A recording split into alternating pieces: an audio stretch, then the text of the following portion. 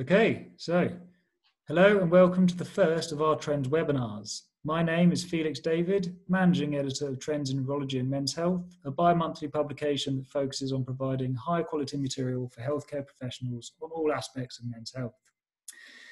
Here with me today, I have Alan White, Emeritus Professor on Men's Health from Leeds Beckett University. Um, we also have Professor Mike Kirby, Editor for Trends in Urology and Men's Health, and Dr. Patricia Schartau, GP at Hampstead Practice, London, and academic lecturer at University College London. Hello. To give an overview before we begin, the subject of this webinar is very timely and focuses on the current COVID 19 pandemic, specifically the high mortality seen across the globe in men infected with the virus. The speakers are going to go over the early research that has emerged into some of the biological explanations for the high mortality. The agenda will begin with an overview of COVID-19 in men from Alan, with Patricia then giving an explanation of the ACE2 receptor and its relationship with the virus, before Mike and Alan take us through the role of testosterone, endothelial dysfunction, and the male immune system on the severity of COVID-19 infection. So, Alan, I think I'm ready to pass it on to you if you're ready. Yes, thank you very much. And um, um, Mike and I have a paper out on the biological factors in, uh, in this month's um, Trends uh, uh, journal. Um, so next slide, please. Uh, so it, it, what we know about uh, COVID is remarkable uh, disease. It's a disease that has developed so fast and has gone right across the world. Currently, there's about 11.8 million cases. we know that there's over half a million deaths. Um, and, and the knowledge that has been developed around this disease is growing exponentially. That currently on PubMed there are 30,000 papers uh, that are specifically focused onto COVID-19. So that's within the last six, seven months. If we look at uh, the, the situation within England, um, we can see from the Public Health England weekly coronavirus uh, reports that um, in terms of testing, um, we have uh, more women identified as having the disease, both through hospital testing and through community testing, uh, with 85,799 women um, in, in the hospital testing. That may, in part, be because they're, they're testing hospital staff as well. So that includes the nursing staff. And interestingly, when you look at the over 60s, uh, the, uh, a male excess emerges until you get to the 80 plus. In the community side, again, you see a, a preponderance for female test uh, for uh, females being tested, uh, and and actually that also uh, again uh, is for a lot of the uh, female carers. Um, but it begs the question when you start to look at the mortality around this, whether we're under testing men in the communities. Next slide, please. Uh, when we look at the positivity uh, of the tests, um, especially when you look at the, the weeks 14, 15, which was the, the peak of the infection, we see that more men are picked up. Nearly 50% of the men uh, um, have an overall positivity in the tests that have been conducted. Could we have the next slide, please? Now, when we get to mortality, this is where we see the male um, issues emerging. Um, and we've, we've got two slides, one which is looking at uh, 1 to 39, and then the next one which is looking at the older age. Now, in the uh, previous slide, you'll have seen that actually we have about a 50% higher risk of mortality in men, even in the younger ages. And we tend to think of COVID as being a disease of older people, but even in the younger ages where the numbers are smaller, we're seeing a male excess. Could we have the next slide, please? And, and when we look at the 40 pluses, we see the numbers rise exponentially, uh, certainly once we get into the older years. Um, but the male excess continues. And up to 84, uh, age 84, uh, we've, we've got over 60% higher risk of, of mortality. Um, uh, and it's only over the age of 85 um, 90 that we see the female excess. And if you actually look at the rates, the rate of death is still higher in the men. Next slide, please. Uh, what we see in terms of critical care, uh, again, this is where, again, men have a, a, a, marked disadvantage in that they're much more likely to be represented within the uh, uh critical care setting with severe disease. Um, and of the nearly 10,000 people that have, been gone, have gone through intensive care, 70% of those are male. Could I have the next slide, please? We also know that inequalities feature strongly with regard to uh, this disease. Um, and here we see the uh, um, uh, mortality mapped against uh, levels of deprivation, index of multiple deprivation. Uh, and we see that in the, uh, for male excess across the board, but we also see a, a faster rise in male excess um, by deprivation. Can I have the next slide, please? Uh, I mean, this has also been reflected within the occupations. Very interesting analysis being done around uh, risk of death by occupation. And we can see that uh, uh a lot of the um, uh, most vulnerable men are in the low skilled elementary occupations, which again maps onto the uh, living in the, the, poorer areas of society um, and, and the caring and leisure occupations as well. I, next slide, please. Ethnicity has also been a significant factor in the COVID-19 pandemic. Um, and if you look at the uh, people admitted through intensive care, you see um, about half of the ones that have been uh, admitted are um, of non-white ethnicity, which in terms of the overall demographic profiles means that they're massively overrepresented within the intensive care severely ill uh, population. Can I have the next slide, please? And when that's mapped against um, uh, deprivation, you can see the non-white ethnicity uh, more heavily represented uh, in the, in the uh, populations in intensive care. Can I have the next slide, please? And that's passing across to Patricia. Okay, um, in the previous slides, Professor White highlighted that in terms of ICU admissions and death rates, males have been affected more severely than their female counterparts.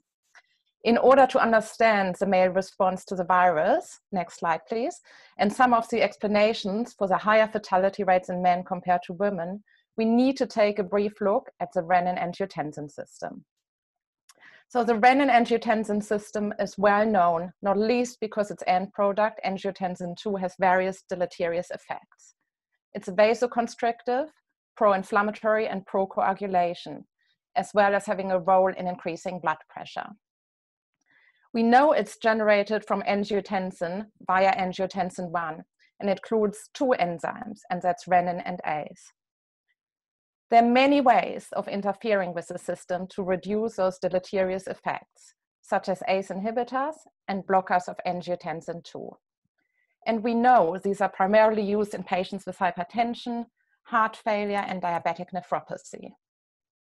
However, the body is quite skilled at getting rid of angiotensin II, and many enzymes help degrade it. And one of those really helpful enzymes is ACE2, which produces metabolites. And you can see that on the very right. And they are called angiotensin 1 to 7. And it's been postulated that angiotensin 1 has beneficial effects which oppose the deleterious effects by angiotensin 2.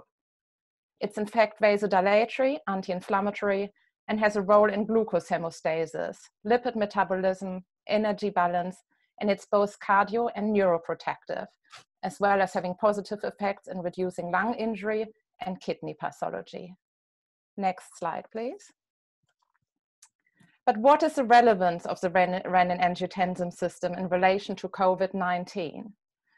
The angiotensin converting enzyme 2, or ACE2, is the main route the coronavirus 2, COVID-19, takes to enter the cells, which was also the case for coronavirus 1. ACE2 is quite widespread. For example, it's present in the lungs, heart, kidneys, the lining of the blood vessels, the stomach and intestine, the brain, and in the testes.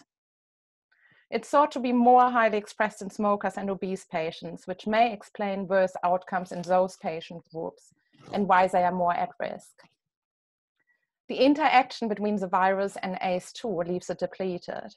So the body really loses the positive effects of angiotensin 1 to 7, and the damaging angiotensin 2 effects remain unopposed.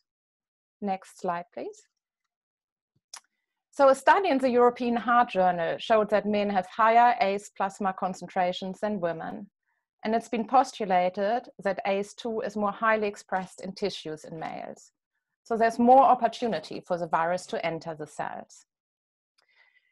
The ACE2 gene is located on the X chromosome. And as females have two X chromosomes, they have twice the capacity to form the enzyme and tend to create two types of the ACE2. As males only have one X chromosome, they also have only one form of ACE2. So if the virus can unlock the single form of the male ACE2, it has access to every cell in which the enzyme is present. In summary, the higher ACE2 levels in males combined with the single form that's present may make it much easier to get infected. And once they are infected, they may have less ACE2 and therefore angiotensin 1 to 7 available to help counter the damaging effects of angiotensin 2. As mentioned, the ACE2 is also highly expressed within the testes and the prostate. And Professor, Professor Kirby will discuss this next, including the role of testosterone in the male response to the virus. Thank you, Patricia, for that kind introduction. May I have the next slide, please? Let me just set the scene first of all. We know that several age-related conditions are associated with increased rates of hypogonadism, notably type 2 diabetes, obesity, coronary heart disease, heart failure, chronic kidney disease, obstructive airways disease, HIV, and those men taking long-term opiates.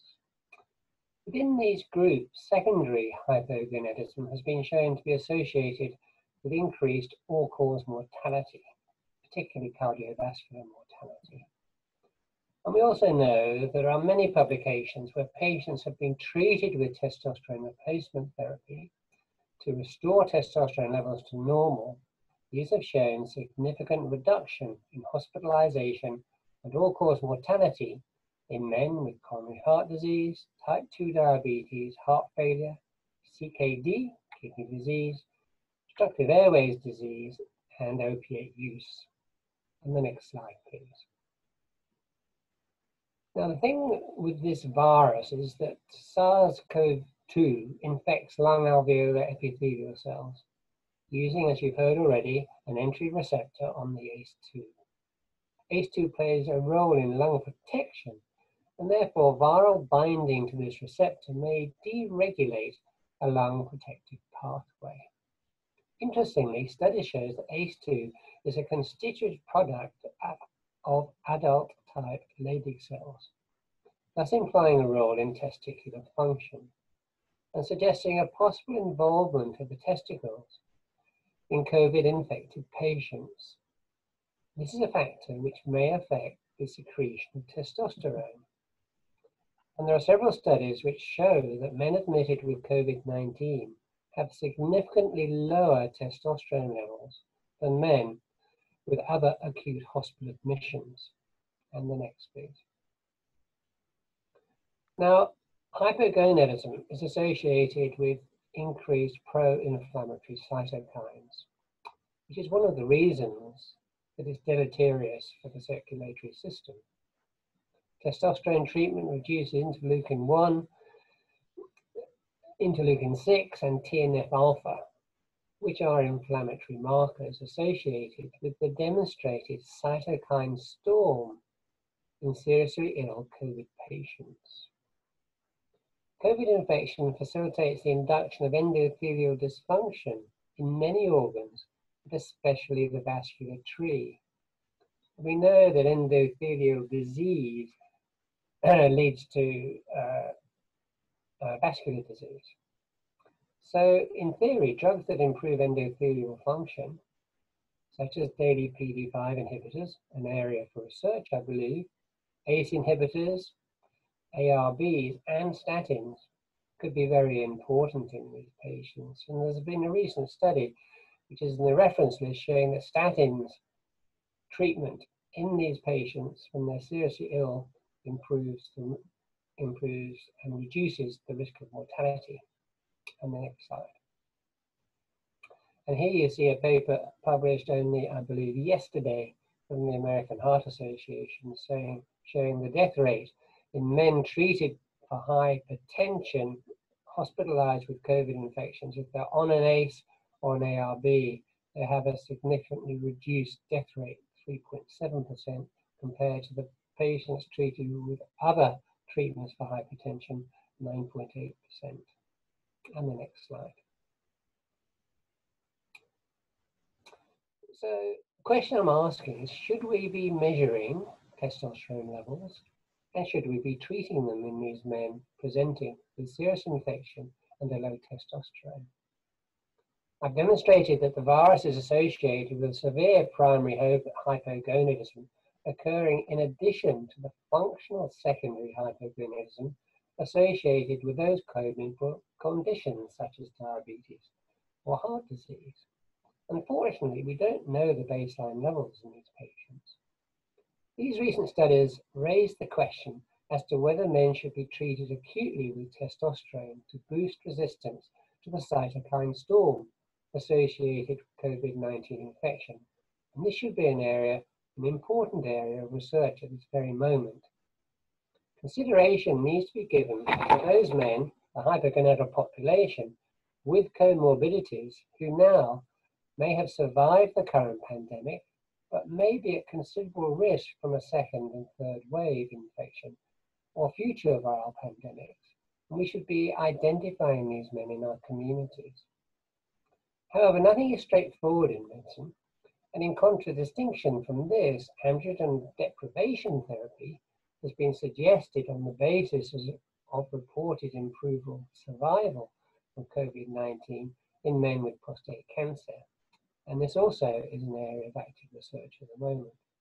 I do not believe this is likely to be successful, however, and in addition to that, uh, for the reasons I've explained already, but in addition to that, what would be the impact of uh, using ADT in terms of increasing the risk of cardiovascular disease and diabetes in these men. We need to look into this in some detail. And there, I rest my case. Thank you.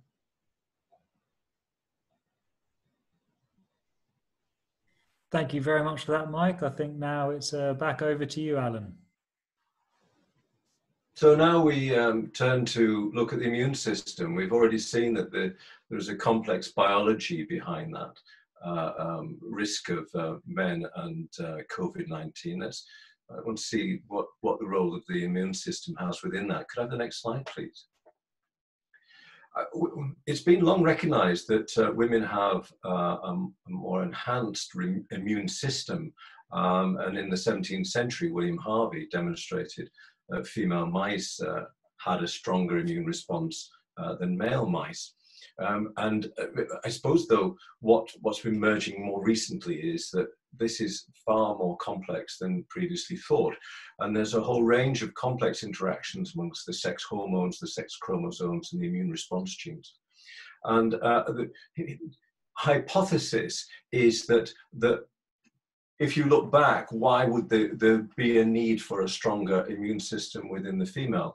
And that perhaps that in the reproductive years, where we see this most evident, um, that um, the woman has to be in a fit enough state to, to conceive, to, to carry a child, and then to raise the child, whereas the, the man's energy uh, levels have are being put into fight, flight, uh, and to, to the um, development of of, of, of a strong gene pool through, through reproduction. So uh, it, they didn't want to, they didn't need to have as, as a stronger re immune response to disease, uh, whereas the women did. So can we go on to the next slide, please? So we, we, know that there's many mediators of the immune response. It, it, it's not just the biology, there's the smoking has already been mentioned, the comorbidities, the diabetes, obesity, uh, uh, and exposure rates, and we've seen that through the workplace and through the living conditions, and social behavior, physical activity, sedentary lifestyle, habitat. But but we're still seeing that there is a male excess. Once all those factors have been taken into consideration, we're still seeing the male excess, which has been partly explained by the ACE2 uh, uh, um, discussion by Patricia and by the testosterone. But there may well be some more hormonal uh, factors that uh, we should explore. Could I have the next slide, please? If we, if we look at the normal uh, route to infection um, and, and the immune response, we see that the uh, bacteria and um, viral infections get in through the SARS-CoV-2 that gets into the body through the ACE2 receptor. Uh, and that uh, then stimulates the major histocompatibility complex, uh, which stimulates the T lymphocytes, the CD8 and the CD4. And, and, the CD4 T lymphocytes, they'd help the T cells uh, subdivide into Th1, Th2, producing the cytokines, um, and um, the interferon gamma, which is uh, uh, more of the uh, uh, um, more of the uh, um, messenger, getting the stimulation and the interleukins. And the CD8 T cells, the cytotoxic cells, the killer cells.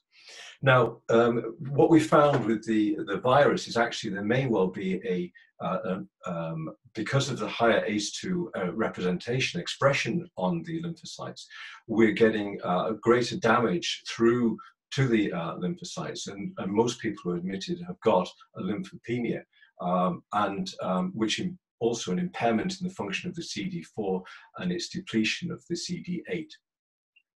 The other side of the innate uh, body responses uh, through the epithelial cells, the alveolar macrophages, and the dendritic cells. Um, and um, the, the um, uh, COVID has been found to actually mask itself uh, um, through um, the, the glycan um, uh, shielding to stop the body's innate immune system identifying itself, uh, identifying the virus and, and limiting the immune response. Could I have the next slide, please? So uh, the female immune response uh, has been identified as being um, much more um, effective uh, at dealing with viruses. This, is, this has been seen uh, in a number of studies and reviews that have been done recently, uh, Cadell and Korvatz and uh, um, Klein studies, um, where we're seeing that the uh, estrogen has a, a, regulatory function of the myeloid cells and the innate lymphocytes and, and in dampening the uh, um, pro-inflammatory cytokines. We're also seeing that estrogen has a direct effect on the metabolic functioning of the cell, which actually has uh, um, uh, can limit the, the viral replication. Um, and estrogen also promotes the uh, type 2 responses of the alveolar macrophages and in resolution of the immune responses to the virus. Um, uh, the uh, expression of the uh, toll um, receptors, uh, toll-like receptors, the TLRs, are, um, are also more expressed uh, within women than in men. Um, and actually, most of the um, uh, major innate functions, the B and T lymphocytes, the mast cells, the macrophages, um, and the natural killer cells, are predominantly expressed through estrogen receptors. And with a higher estrogen, with a um, women have a stronger effect. Um, and the genes encoding for TLR7 uh, and 8 and the interleukin uh, 2 gamma, another immune related factor, that also encoded on the X chromosome. So, therefore, we're having a, a stronger um, uh, response because uh, women have uh, two, and, and whereas often the um, only one is working, the TL7 and TL8 uh, have been shown to be actually active on both of the X chromosomes. Um, and also there are other uh, um, toll-like receptors uh, um, which are, um, are specifically uh, uh, um, more efficient at recognizing viral RNA and DNA, um, and women have a higher expression of those, those factors. Could I go on to the next slide, please? Now, this gives a, a, a definite advantage to women uh, generally through their uh, immune system, and they're swifter at uh, clearing pathogens. Um, and we've we've seen this within the the risk of cancer in uh, um, between men and women, and men's increased risk of cancer has been put down to the fact that women perhaps are, are better at removing the, the, the pathogens that might be more uh, um, causative. And there's also better survival for women through bacterial and viral diseases and parasites. Um, and um, once the uh, virus has passed, they have a higher immune reactivity, which, which actually has a longer term impact on their ability to, to withstand further infections. Um, and vaccinations have also been found to have a greater and longer lasting effect in women than in men, which, which may again have uh, um, issues in relation to whether they ever do find a vaccine for this disease. But the disadvantage is that there's a big risk of autoimmune diseases um, and that uh, um, the system can malfunction. And we see this through the thyroid disease, the Crohn's disease, uh, and a lot of the other uh, autoimmune diseases. So women are at a disadvantage because of their system. And also we see that once they hit the menopause, then the, the rapid decline in estrogen uh, has a big impact on their risk of infections. And that may be why we're seeing in the older, older women um, many more uh, um, deaths. Can I have the next slide, please? Uh, so what, what's the male disadvantage? Um, well, the male disadvantage is, is they're not female, um, in that uh, the female immunity advantages uh, are, are, evident, um, but they're not evident within the men, and so therefore that is a big disadvantage.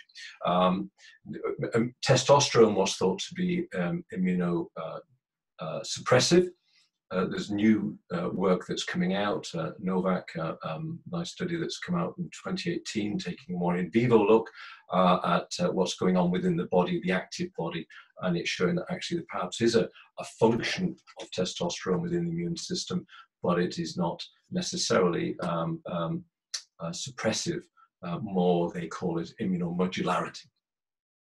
Um, and the men because of, of, of male obesity, uh, we know that um, uh, obese, um, the fat cells have higher levels of ACE2, so there may be a, a, more, a greater viral load within um, overweight men. Uh, and we've already heard also that um, the testes might be a, um, a, reservoir for the disease. Um, and there is a, a, discussion around whether testosterone decreases uh, the uh, major histopathology uh, complex, which will therefore impact on the uh, uh, messaging of, of the uh, response to infection. Women have um, estrogen increases the expression, where, whereas testosterone may have a de, um, decreasing effect. Could I have the next slide, please? So, in, in summary to, to today's lecture, um, been a similar number of confirmed cases um, between men and women, whether that is a testing issue um, or whether there is an equal risk of developing the disease. But once we have got it, um, it, it, seems that there are um, many more men that are vulnerable to experiencing the severe form of the disease and have a higher mortality. Um, we've seen that that is, is affected by age, by socioeconomic status, uh, status and race. Um, as to the, the, the full uh, reasons why race is, is a factor beyond the socioeconomic, we don't know. There may be biological factors involved as well, but uh, it's, it's certainly the fact that we're not just looking at the biology of this, there's many intersectional and social demographic uh, uh, issues that way, at play as well. However, if we're looking at the biological sex differences, there are many complex issues at play. Um, and and uh, we, we feel that um, our understanding of that uh, risk uh, for men and how these factors into play is, is just still in its infancy. Thank you very much.